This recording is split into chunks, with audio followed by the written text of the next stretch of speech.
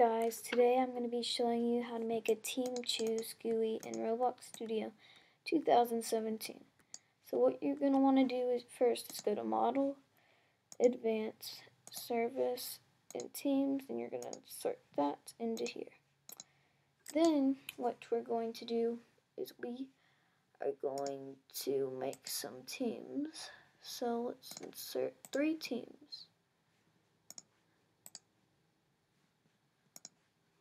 Now, let's name this one Red Team. And then this one Blue Team. And then this one we are going to name Choosing Team. So we're going to put auto assignable checked on this one and the team color to white.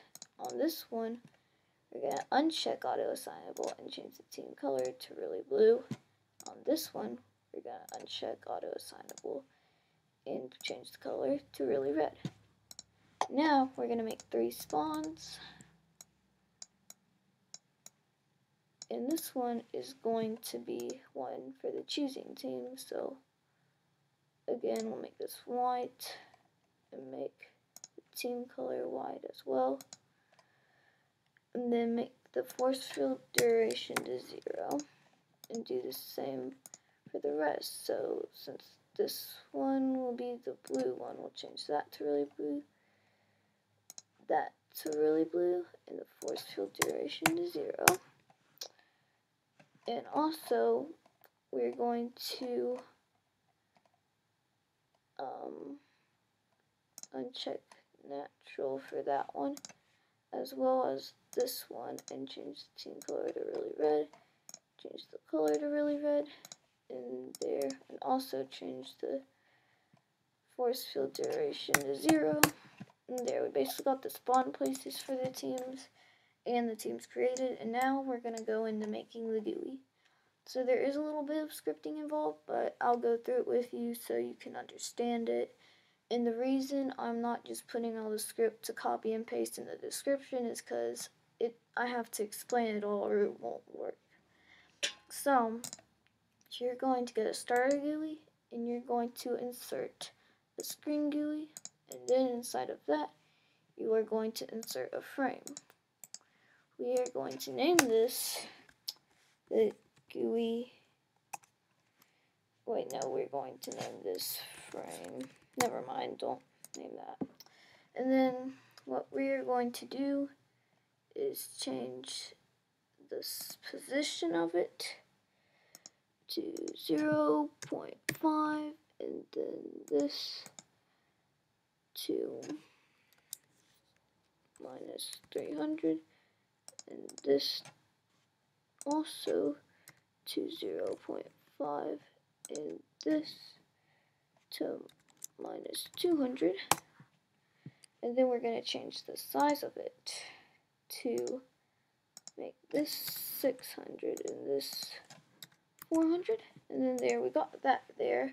We can decorate it by changing the color of it. And that's good. Now we're going to insert a text box, no, a text label into it. And we can change what we want about that. We can make it, um, let's make it that color. Then you're going to go down to text. You can make it say, choose your team. And then you're going to check text scaled. And now what we're going to do is change some things about it. So gonna change the position of it to point one and there. So now once you got that in there, we are going to do something else. We are going to go to frame. We are going to insert a text button. This text button is, see, um, we're going to change the position of it. So, let's see. I'm Gonna set the position of this 0 0.25. We're also to change the size of it. Um, let me find the size. Oh, this one needs to be that. Mm, that. There. So you're going to change the size to that.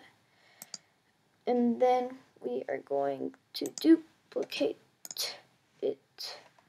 And we are going to change the position of it to instead of 0.25, we are going to do 0.50. There. Now we can change the color of these. So, so this one is going to be for the red team. We're going to make it red. And since this one is going to be for the blue team, we're going to make it blue. Now we can change the text inside of it also by going down to text. We can make it say blue team. And then we're going to make the text scaled and we're going to do the same for this one, except we're going to make the text say red team. So we got these two buttons and now we're going to need to put some scripts into them. So we're going to do insert object, local script, delete all this, and now you're just going to follow along with me and you should be good. So which we are going to be putting in there is this. So we're going to put local player dot, wait no, not dot equals, game dot players dot local player. And you can go down to line 3 and do script um, dot parent dot mouse button one click. And then you can do this one and then connect and then function then that. Then we're going to go down one and say play here dot team color equals brick color dot new. And then we're going to do the name of the color that we picked for it, which is really red. And you have to spell it just right, or and if it doesn't work, just check your spelling. So then we're going to go down another one and do game dot workspace. And then we're going to do this, then I'm going to say player dot capital N name. Then we're going to close that with that one. And then we're going to do dot head. And then this one, and then destroy. So basically, it will reset the person and make them spawn at their base that they chose. So we basically got all that done. Now we're just going to copy all this and we're going to put a local script in the next button. And then we can paste it in there but change the color name to that one's color which was really blue. And yeah, we basically got those now. So let's test it out. So as you can see, we spawned in the choosing team.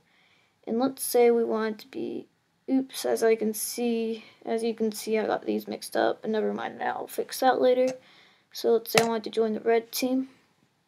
Say you are now on the red team on the chat, and I you can see sort of on the bottom of my screen, as you can see down here, you can see that I spawned at the red place. If I want to spawn the blue team, let's say you're now on the blue team, and you spawn at the blue team as you can see. So now let's stop this. I'm going to just really quick change this since I messed up so we don't get confused. Red team and then change this one to because we don't want to get mixed up. That would not be good. I'll take this one.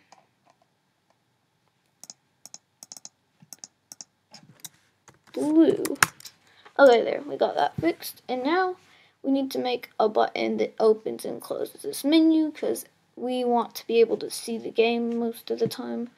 So in Screen GUI, we are going to insert another frame. But this time we're going to rename this frame to anything you want. I don't really care because just anything but the word frame.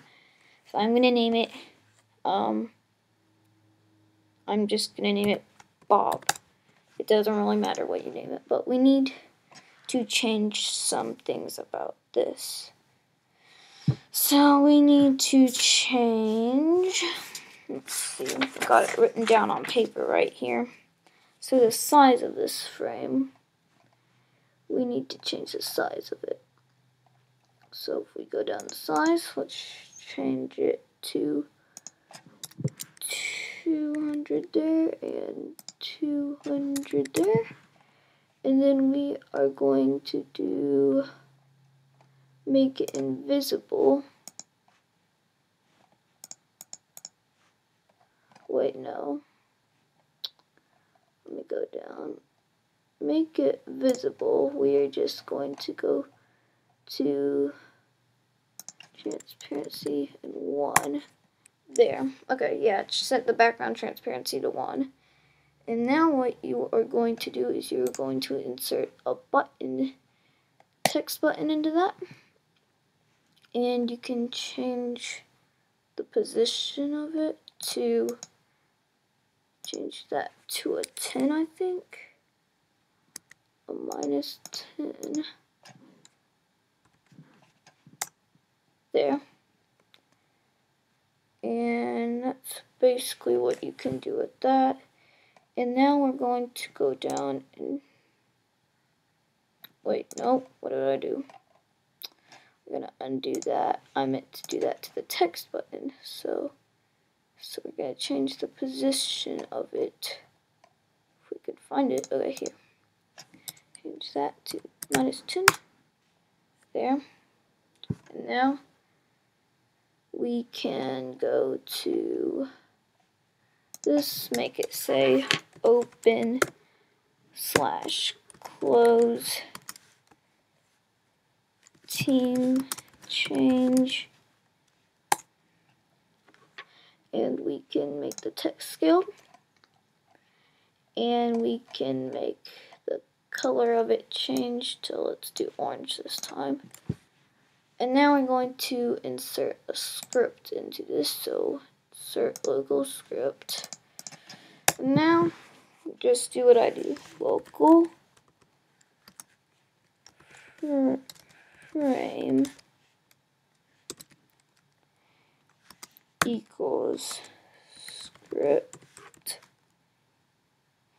dot parent dot parent dot parent and then the sign then wait for child and then we're going to put the word frame in there like that.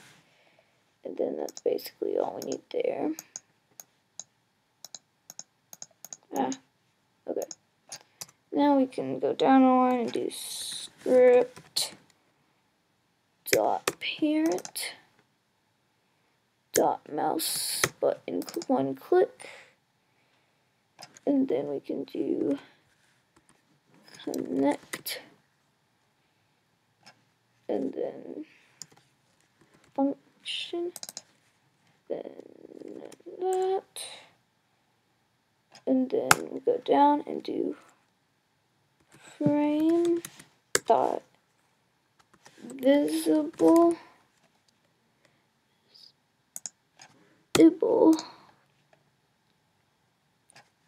equal not. And then we're going to say frame dot visible. Let me see, I think I might have spelled vis, visible. Did I spell there. Okay. So I think we are finished here. Let's test it out. So now, when we press this, it will open and close the menu. So now we actually see our character. As we can see, we spawn at the choosing team place. If we choose red team, the server says you are now on the red team. And we will spawn at the red team. If we press blue team, then we will spawn at the blue team. Well, yeah, you will. And sometimes there's a glitch where you may need to press the button more than once to get to that team. But overall, that shouldn't happen. So, yeah, that's basically how it works. So, tell me in the comments below what you'd like to see next. And if you have a problem, tell me in the comments also. And I will try my best to respond to you with the answers. But that's basically how you do it. So don't forget to subscribe and like the video and comment what you'd like to see next. Bye.